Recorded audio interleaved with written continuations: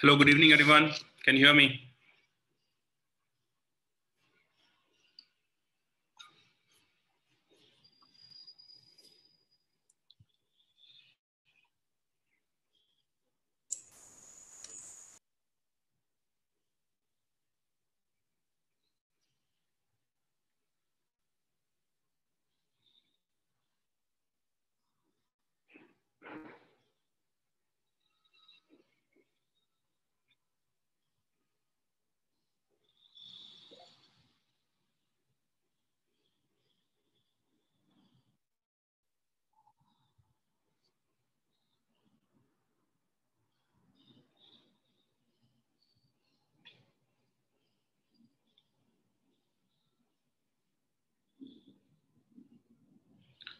Okay, so like last class, I think we had discussed uh, the various molecular speeds, right?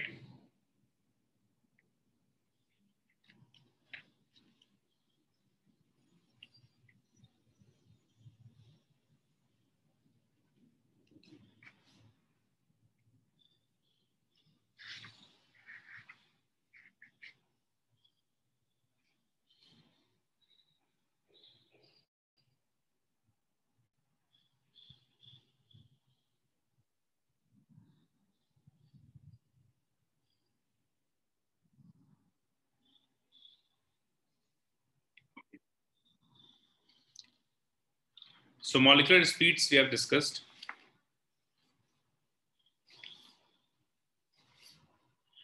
Next, uh, you know, before going into the real gas, we have to start with uh, Maxwell distribution curve. Okay.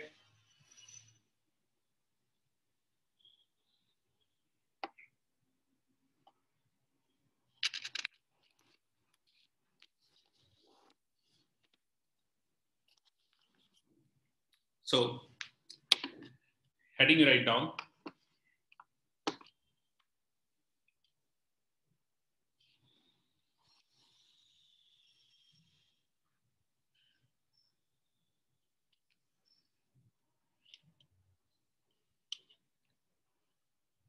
It is a Maxwell distribution of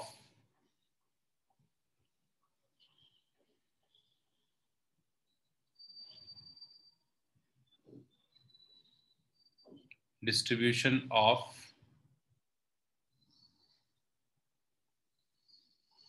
molecular speed.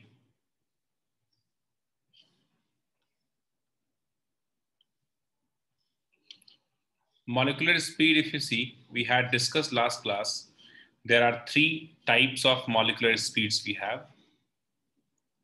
And that is given as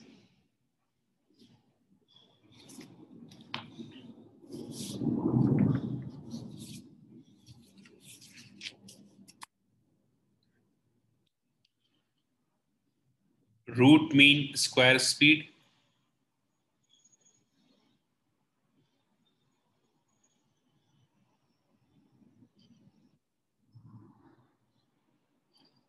that is VRMS and the formula is a root under 3 RT by M. M is the molecular mass of the gas. And then we have average speed.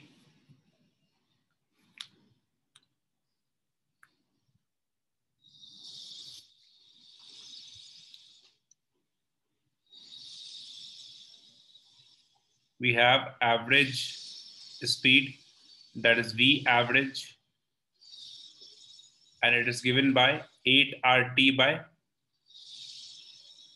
8 RT by pi m and the last one is that is most probable speed.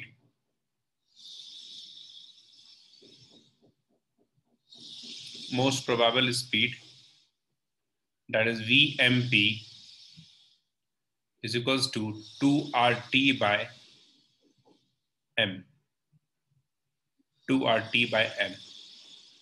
And we had also discussed vrms is maximum then V average, and then VMP that we had discussed.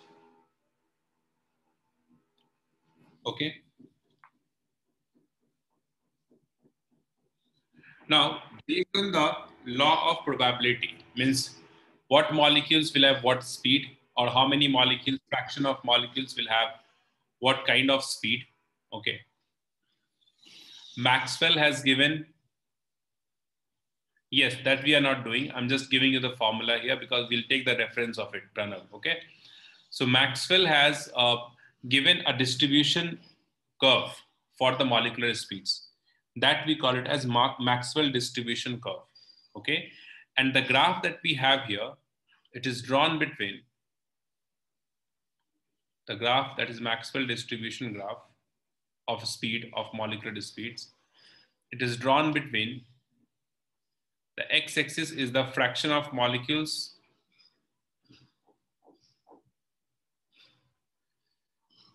The x-axis is the speed we have speed of the molecules. And y-axis we have fraction of molecules. Fraction of molecules that is dn divided by n. Okay? Fraction of molecules having one type of speed. Okay? So this graph gives you the distribution of molecules having one type of molecular speeds. Okay, how many molecules will have one type of molecular speeds that we are going to understand here. Okay, so the Maxwell distribution curve, it is a bell-shaped graph. Okay, it is a bell-shaped graph. Achha, have we discussed one more thing I wanted to ask? Have we discussed Graham's law of diffusion last class? Graham's law of diffusion and effusion?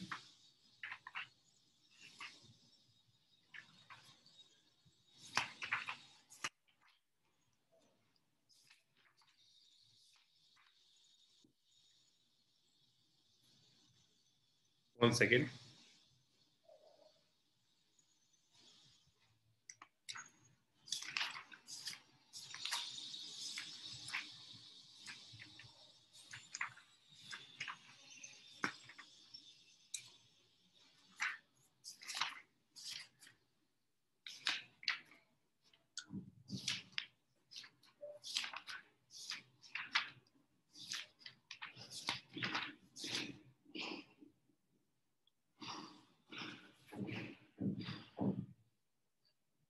No, okay. After this, we'll discuss that also, okay? So the graph here, it goes like this. Molecules will have certain speed and it is a bell-shaped graph. So it goes up to a maxima and then comes down and goes like this. Right, this is the graph of the uh, Maxwell. It is given by Maxwell distribution curve. Okay, now here this point you see the peak of this graph it contains the maximum fraction. Corresponding to this point you see we have the maximum fraction. Okay. Corresponding to this point we have the maximum fraction maximum number of molecules. So this speed corresponding to this point is by definition if you see this becomes the most probable speed VMP because it's the speed of the maximum molecules, right? Maximum fraction means maximum number of molecules. Okay. VRMS, we know it is the maximum value we have, right? So VRMS will be uh, somewhere here. It is maximum somewhere here. Okay. And in between these two, somewhere here we have V average.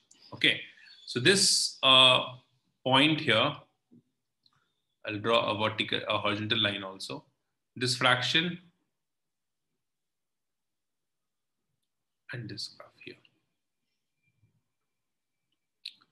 Okay, so all these things represents the fraction of molecules having different different speed.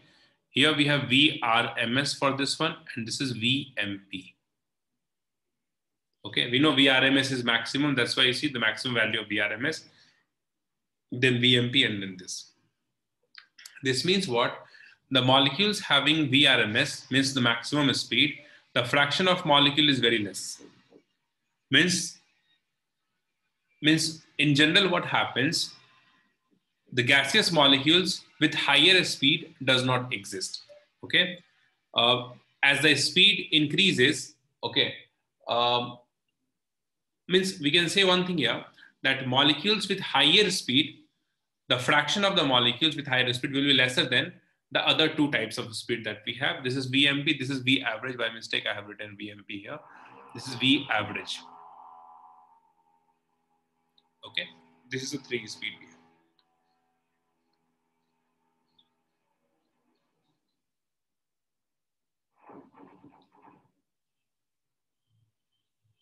Okay, so this, uh, there are two, three features for this graph. The first point is, and obviously this graph is drawn at a certain temperature, right?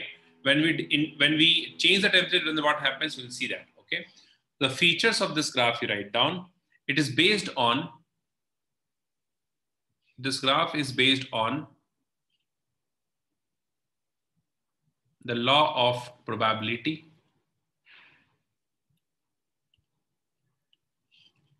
law of probability. The second point for this graph is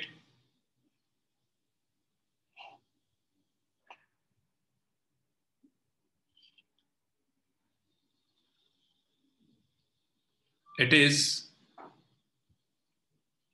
it is a bell shaped graph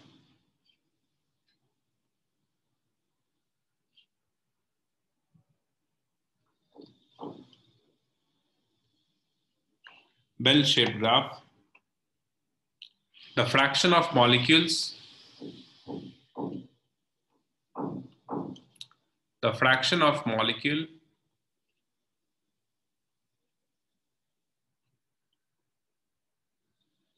having having zero speed is very less having zero speed is very less. As well as as well as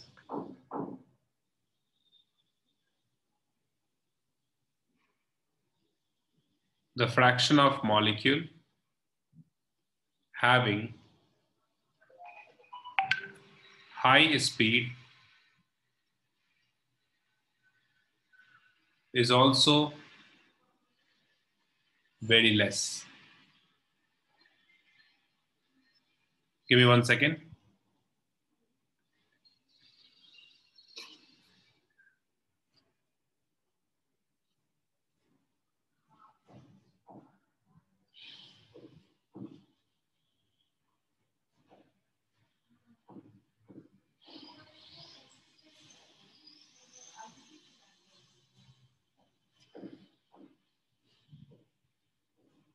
Yeah.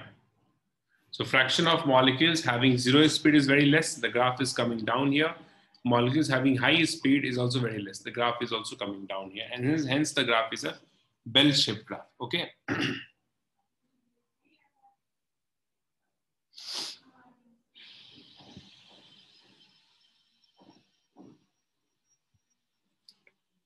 okay, the fourth point here is the maximum fraction of molecule. Fraction of molecule will have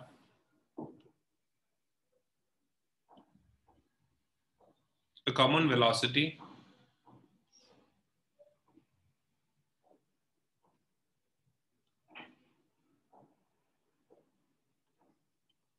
will have a common velocity which is which is VMP, the most probable velocity, and this is corresponding to the peak of the curve. Copy this down.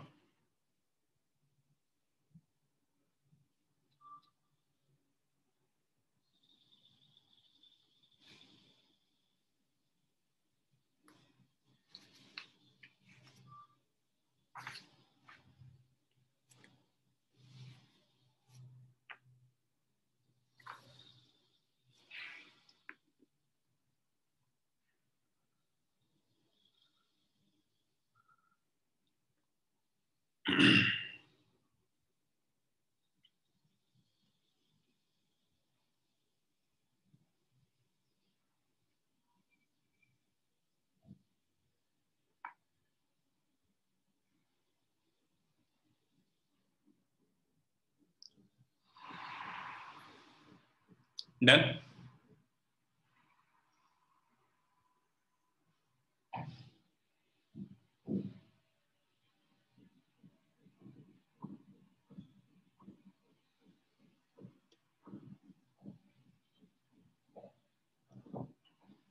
You can take here also Shreyas, that's not a problem.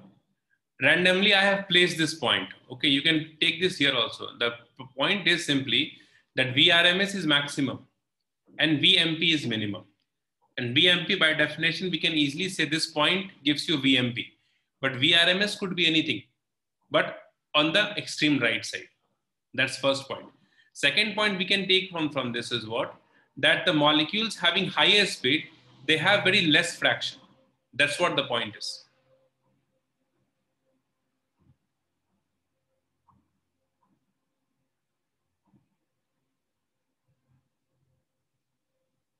Yes, V average will also vary. See, I'm not giving you one, it's not like V average is this only. I'm just giving you one general point here. The point I'm trying to make that in between VRMS and VMP, we have V average. Right, it's just a general thing I have written over here because I haven't mentioned the temperature. I haven't mentioned the gas here. So for any gas, the nature of the graph would be like this and V RMS, V average, V, VMP will be placed like this, okay? In this graph. Yes? Okay. Now you see, uh, if you talk about the VMP here, right? VMP, we know the formula for most probable speed, and that is VMP is equals to root under 2RT by M, molecular speed, molecular mass of the graph, of the gas, right? As we increase the temperature, then what happens? VMP also increases, right? So VMP we can write, it is directly proportional to the square root of temperature, which means as temperature increases, VMP increases, and in fact, VRMS increases, and V average also increases for a given gas. Yes or no? With temperature, all these three relations are correct. With the formula, we can say that. Now, so here you see, if you draw a graph of a given gas at different, different temperature. So the y-axis is again the fraction of molecule and x-axis is the speed. Right, so the graph goes like this.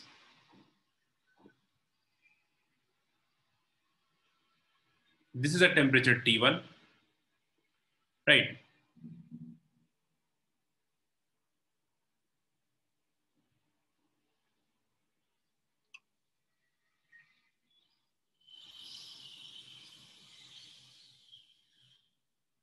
Like this the graph goes, correct?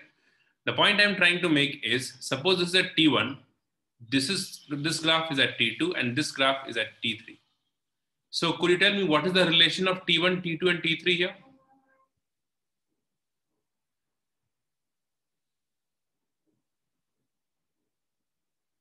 T1 is it T1 is maximum? T3 is maximum, right? So we can say from the, uh, you know, from the relation of VRMS we have, we can say that corresponding to this point, we have VMP, right? This is a VMP at temperature T1, right? This is the VMP at temperature T2. This is the VMP at temperature T3.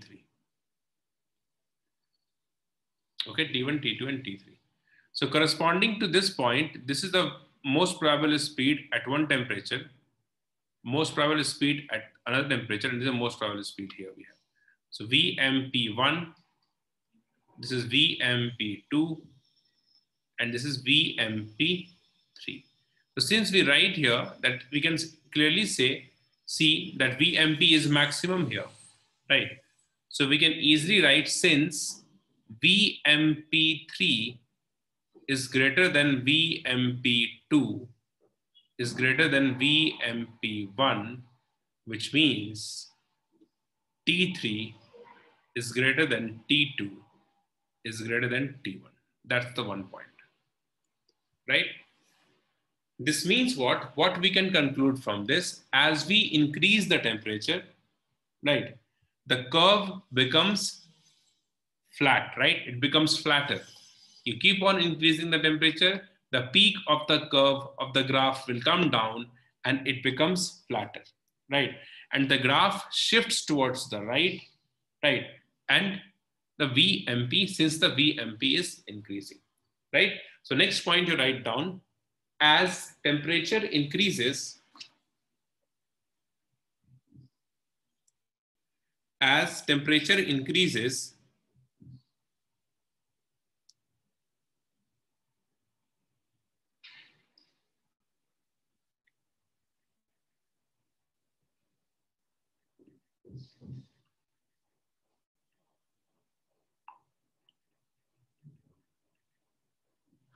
One second. As temperature increases, the curve becomes flatter. It means the graph shifts towards the right.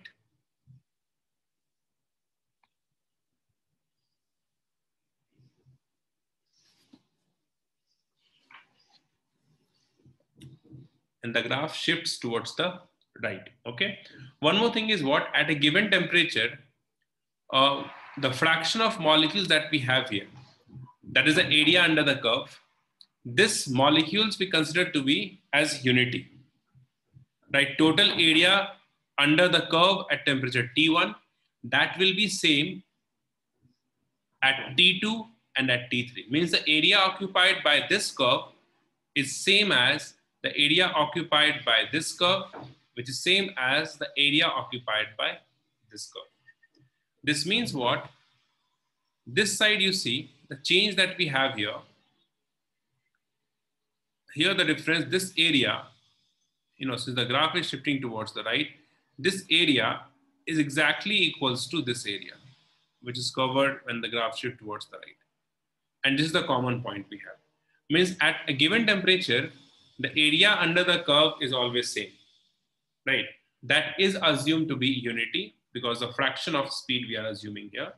So area won't change, but the graph shifts towards the right. Okay, this is must take care of. Sometimes what happens, they also give you, suppose I give you three, three different gases, O2, H2, and N2. O2, H2, and N2. Okay, for a given temperature then which graph represent O2, which graph represent H2, which graph represent N2. And for this question, I am assuming T1 is equals to assume here. T1 is equals to T2 is equals to T3. If you assume all the three temperatures same, then which graph that is 1, 2, and 3 represents O2, H2, and N2.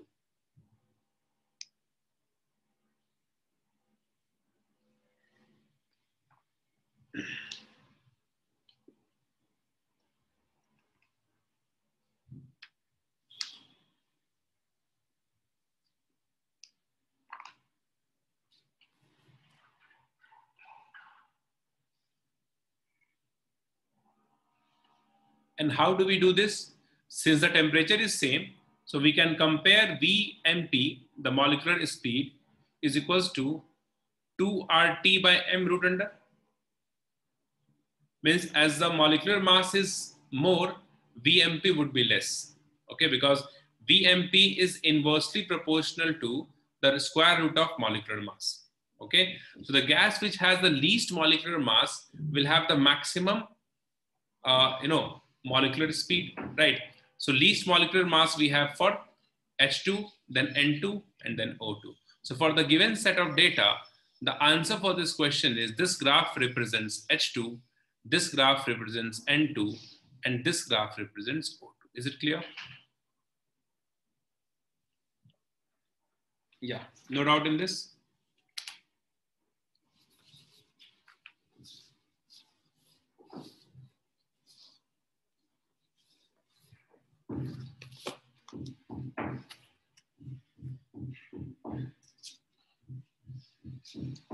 Okay.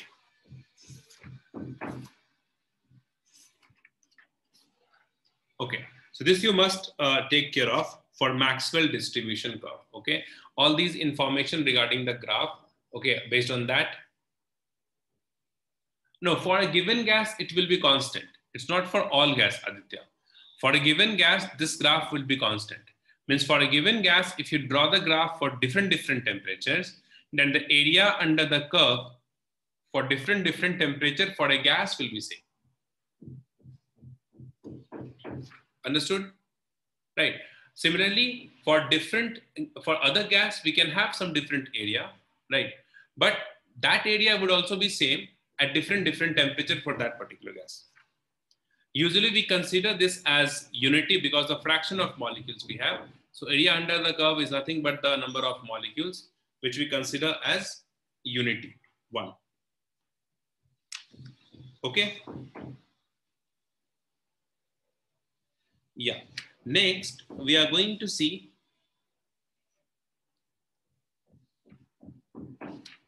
diffusion and effusion. One second.